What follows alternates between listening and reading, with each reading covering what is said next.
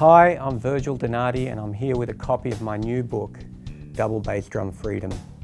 It's available on Alfred Publishing and uh, it's hot off the press.